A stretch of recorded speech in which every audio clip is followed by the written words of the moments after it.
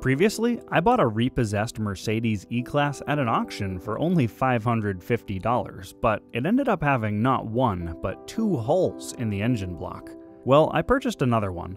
This is a low mileage, salvage title E320 with the same 3 liter V6 diesel engine. Despite having some body damage, the auction listing says it runs and drives. The other downside? It's 350 miles away in Philadelphia. With the cost of hiring a tow truck at around $2,000, I've decided to rent a U-Haul and pick it up myself. The U-Haul trailer cost a bit over $100 for a two-day rental. With the trailer hooked up, let's hit the road.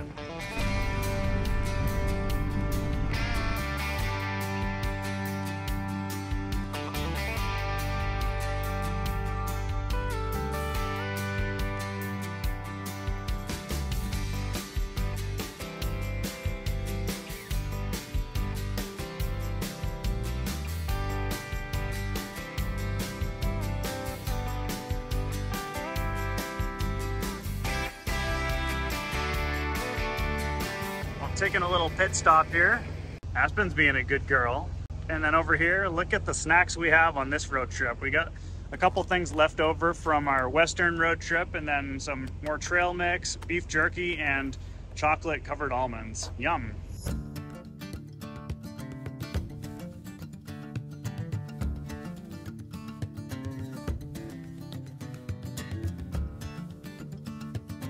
Well, we've arrived at the Best Western where we're stopping for the night and this is the trailer parking. And there's Aspen. We decided to stop and stay at a hotel overnight because, well, it is cheap and it's a lot more pleasant to do this over two days than to try to do it all in one day. I am at Luciani's, or maybe it's Luciani's, and when you're in Philly, you gotta get the Philly cheesesteak. That has steak, mushrooms, onions, cheese, and also a marinara sauce. I'm not sure if that's traditional, but it sure does look good. The next day. Breakfast was cranberry apple oatmeal and a cup of oolong tea. Fueling up.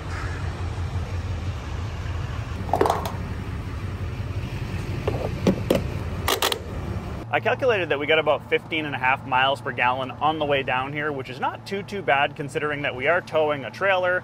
Now, I don't know how much the trailer weighs, but it's not exactly light. You can definitely feel it when we're going up some of the steeper hills on this trip. In any case, we have about a 10 minute drive to get to the auction yard right now, and then we can see what kind of condition this vehicle is in. Now, the reason why I drove so far to get this vehicle is because they're so rare in the United States. They're especially rare in the Northeast because all of the states surrounding New Hampshire actually banned the sale of these vehicles because of emissions requirements.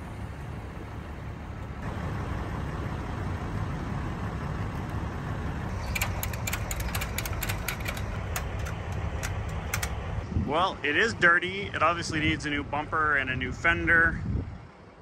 Not a fan of the wheels myself and then the window was open. I saw that it was open in the pictures, but I'm disappointed to see that it's still open, so rain and stuff I'm sure got in, but I guess it doesn't really look too bad in here.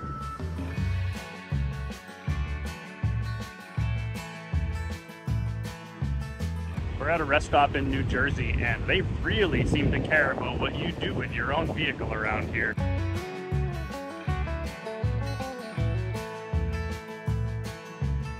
I'm currently passengering, but I was driving that first stint there, and I have to report that things are going pretty well. The truck is handling all that weight back there pretty well, and while you can feel it, it has plenty of power to go as fast as you reasonably would want to go on the highway, and everything is nice and stable. We're doing about 60 miles per hour for fuel economy, but we certainly could go faster than that if we want, but there's really no reason to burn all that extra fuel just to arrive at home a little bit faster.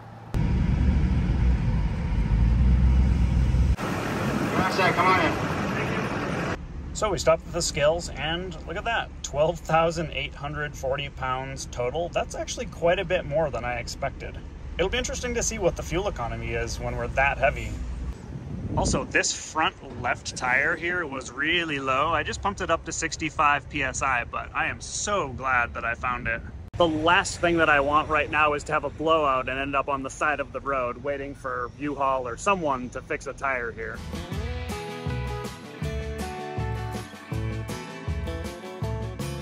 All right, it is early the next morning. It is just starting to rain and it is gonna rain really hard and it's gonna stay raining hard for hours. And I have to get this trailer returned, so I have to unload this thing in the rain. Let's go.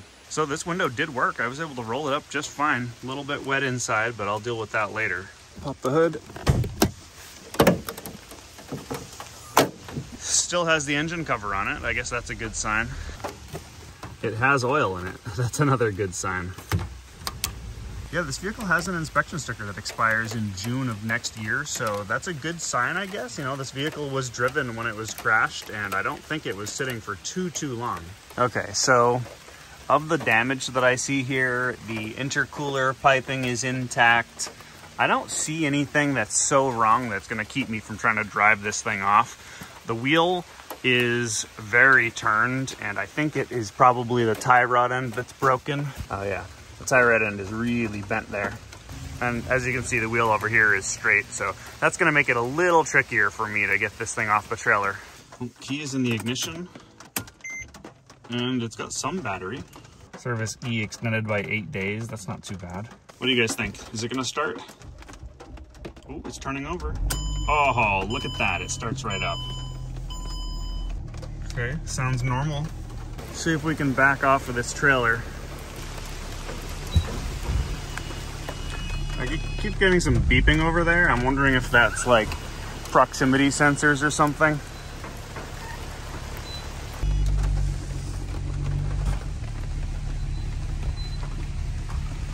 Look at that. And we are off. All right, well, that makes me happy. We'll get this thing checked out tomorrow when it stops raining. And uh, yeah, for now, I got to get this trailer returned. Tomorrow. It is a lovely sunny day. I'm just topping off the battery over here because it was pretty low. Look at that. That is a Mercedes branded battery. Not cheap. The date on it is 2015. Wow, I'm surprised that held a charge. It's very common for auction vehicles to have dead batteries because, I mean, who knows how long these are sitting in the auction yard. But that's why I was so surprised when it started yesterday and I was able to drive it off the trailer, especially with the date code being 2015. And that's a seven year old battery. That's pretty amazing. So I am faced with making the decision of whether or not I fix this vehicle up or I pull the engine out and install it in my blue vehicle. I'd be remiss if I didn't talk about fuel economy and stuff, but first, the cost of the trip ended up being a little over $500, and about half of that was the cost of fuel. Fuel economy, I said before that with the empty trailer, it got 15 and a half miles per gallon. When it was loaded with the car on the trailer, it got 14.9 miles per gallon, and the average for the whole trip was 15.2 miles per gallon, which is really not too bad when the vehicle weighed as much as it did. One of the factors is that tow haul mode was on for most of the time, and that keeps the RPMs of the engine up pretty high, and I think that if we had it off for most of the trip, we would have gotten even better fuel economy. Honestly, I'd rather just have a manual transmission and be able to control which gear I'm in myself. Okay, I'm gonna try to use my Land Rover here to pull out the tie rod end and straighten out the wheels to make this a little bit easier to drive.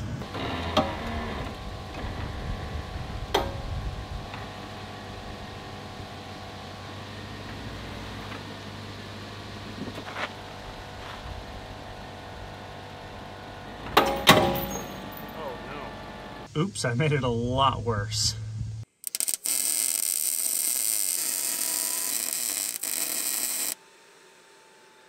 All right, so it looks pretty good to me. Close enough so that if my welds hold, I should be able to drive it around at low speeds on my property.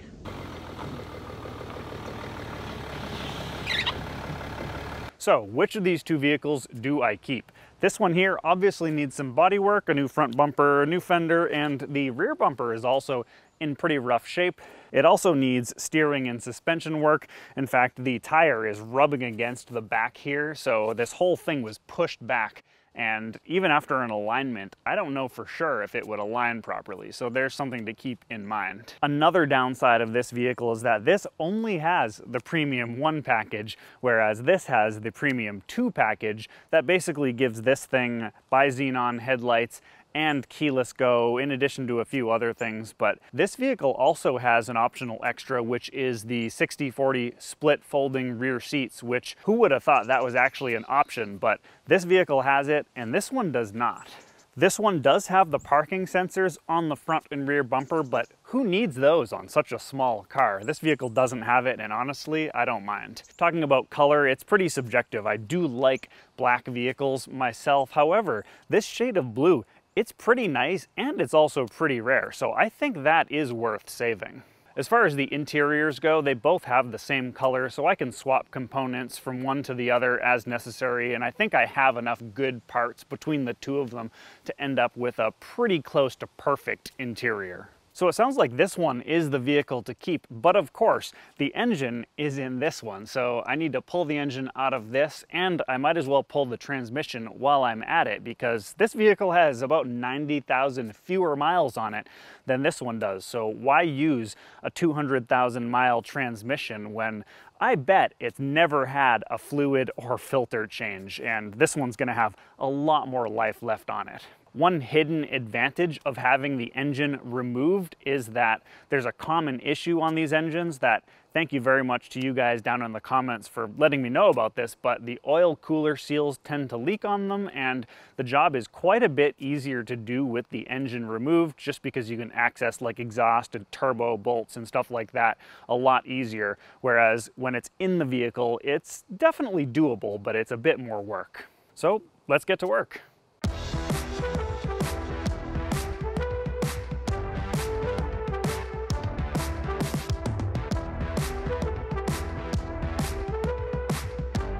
Right, so now that I have this engine out, it's time to get in here and replace the oil cooler seals, which are located deep inside this V. And you can see how much of a puzzle it is to get all of this stuff out. But the good news is that I have really good access to the back of the engine for the turbo bolts, the exhaust bolts, and whatnot. So that should make this quite a bit easier. And also I have the other engine over here on a stand so that I can refer to that if I need to in order to put this thing back together properly.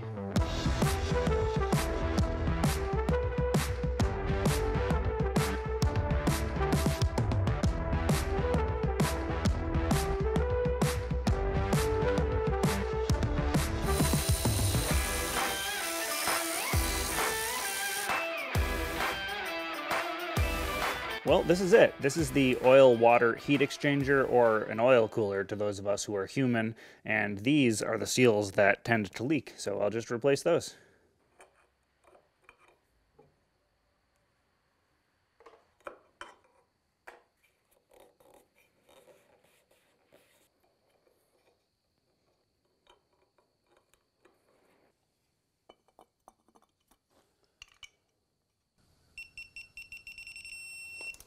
So I got the engine back together and now I'm gonna replace the belt tensioner and the idler pulleys. But before I do, I wanna give you guys a warning about a serious mistake that people sometimes make. Now, I ordered a kit that came with a new belt and new idler pulleys and a new tensioner, and my plan was to replace these as preventative maintenance. I ordered the kit before I even had the engine out of the vehicle and before I checked to see if these were still good or if they need to be replaced. As it turns out, this pulley here is starting to go bad. You can hear the bearings quite a bit there. But this pulley over here is still good, and this one is also still good. Now, I have every reason to believe that these are all original. This engine has 110,000 miles on it, and it's not unreasonable for the quality components that they put on these engines from the factory would last that long, and only one of them is starting to go bad. Now, the mistake that people make is they figure, oh, while I'm in here, I'll just replace a bunch of stuff because I have easy access to it and it's easy to do now. That makes sense, and I totally agree with that logic. But the part where it goes wrong is they go to the auto parts store, O'Reilly's or whatever, and they just buy whatever they have in stock, their cheapest component. And what you're getting is really cheap components made in China that have a really bad reputation for failing pretty soon, actually. This applies to pretty much all auto parts, but it especially applies to anything that has bearings in it, which these pulleys do. While I would say that you could probably expect a good 100,000 miles or more out of a set of OEM quality pulleys like this. The ones that you buy from the auto parts store are not going to last nearly as long. If you were to replace a tensioner like this that there's nothing wrong with, or a pulley like this one over here that there's also nothing wrong with, and you replace it with a cheap Chinese part, you're probably making your engine less reliable because, I mean, who knows how long these are gonna last. They could have a lot of life left in them. But if you replace it with the cheap Chinese pulleys, they're probably going to fail a lot sooner. I think it's a great idea to do preventative maintenance like replacing belts and pulleys while you're in there and you have easy access, but just make sure you order quality parts, especially when it comes to components that have bearings in it, whether it's a pulley or a wheel bearing. The fuel filter that came off of it is a genuine Mercedes filter dated 2016, so it's good to see that it's been changed, but of course I am going to replace it.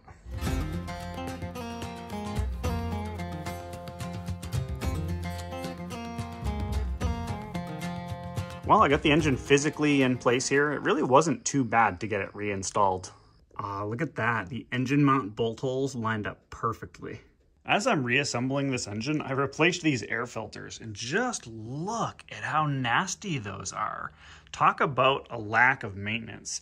These are the air filters that came out of the engine that was originally in this blue vehicle. After I got the engine hooked back up, it was time to add fluids. 5W40 motor oil, power steering fluid, and a 50-50 mix of coolant and distilled water.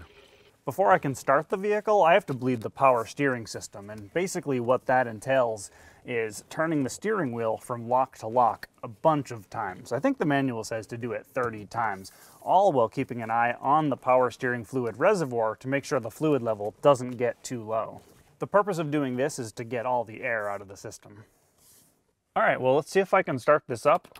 Start by turning the ignition on. We can hear it's doing quite a bit of stuff. As far as I understand, I think the fuel system in this is self-priming, so by turning the ignition on, it kind of does its thing. I did have the left fuel rail and fuel injector lines off, so I don't really know if this thing's gonna start right away, so let's find out. Ready?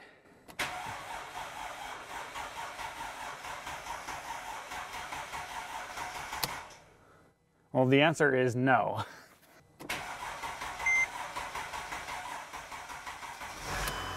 Hey, there we go. Okay, so this is where we're at. The engine works great. It sounds good. It doesn't seem to have any leaks, so I'm pretty happy with how that's going. The transmission, however, doesn't work at all. And this is what I was worried about. So I think the transmission has a security feature built in and it basically detects that it's not in the correct vehicle and says, nope, I'm not working. The fix is not too difficult. What I need to do is swap the transmission control modules. The downside there is that the transmission control module is inside the transmission. So I gotta take it apart, pull it out, swap them, and then put it back together. Luckily, I bought a transmission service kit with fluids and a filter and all that stuff. So it shouldn't be too much work. Let's go. I'm gonna start by draining the fluid out of this transmission pan.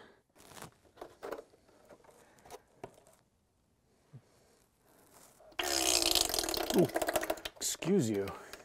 There's supposed to be a pickup tube in here that I'm supposed to push out of the way and that'll drain the rest of the fluid out.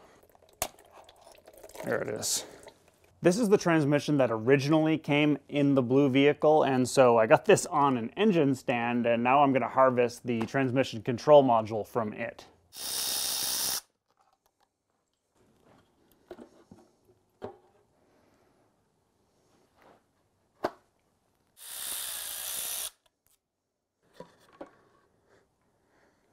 And on this side, that's the transmission control module. Sweet. The next step is to remove the shift solenoids, making sure to keep them in order for reinstallation.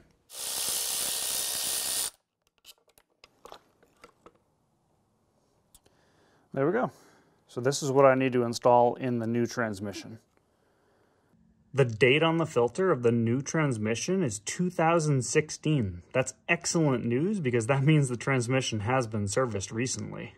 All right, so I got the old TCM installed in here. Everything else is from the new transmission. So new valve body, new everything else. Got a new filter too. Cleaned up the oil pan, new gasket.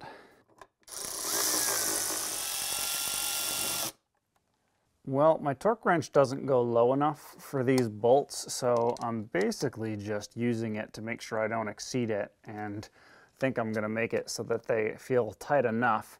They're aluminum bolts, so I really don't wanna snap these because I'm sure it doesn't take much torque. So I have a fluid pump here containing seven quarts of Liqui Moly Top Tec 1600 ATF. This stuff is actually approved by Mercedes for this application, so I'm using the good stuff. So I've got a fill adapter here. Give that a little pump, and then I can open this ball valve.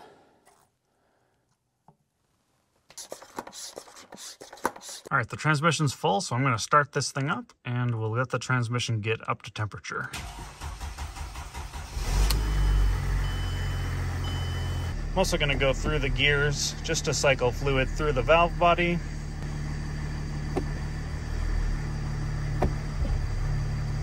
Let's see. Oh yeah, look at that.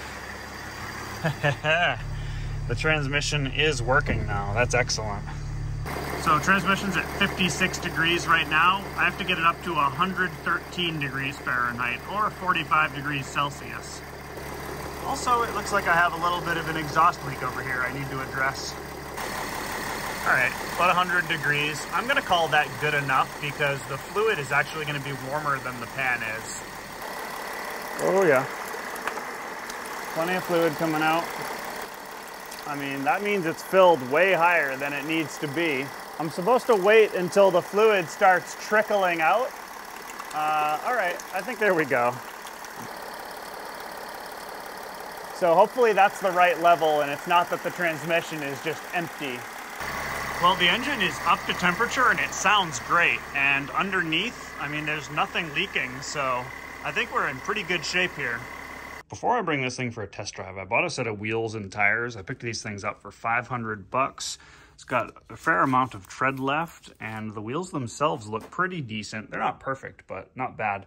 These are off an E550, so they are period correct, and they should look good on the vehicle. There's nothing really wrong with the current wheels. They're 16-inch wheels, nothing too special about them, but the tires are absolutely shot, and so this way I don't have to spend a $1,000 on a new set of tires.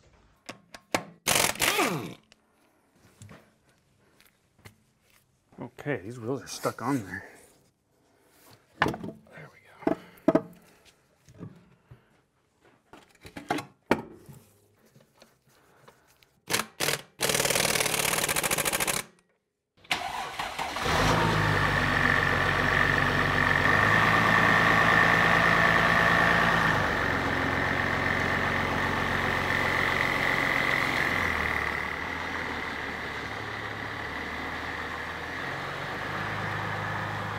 I'm back inside because it's a little bit rainy out and I really want to address this headlight. It is yellow and clouded and it's really bothering me because the headlight on the other side looks like it's brand new. To address it, I picked up a 3M Ultra Headlight Restoration Kit. These are pretty darn good from what I hear, but I've never actually used one myself, so let's give it a try.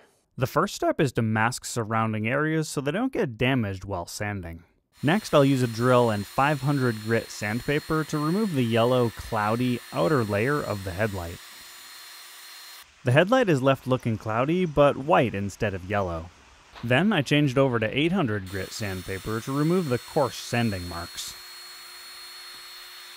With the headlight smoother but still cloudy, I'll switch to a 3000 grit abrasive. This time I'll be wet sanding. The headlight starts to look quite a bit clearer, but we're not done yet. The kit includes two clear coat wipes, which I'll apply for a shiny, protective coating.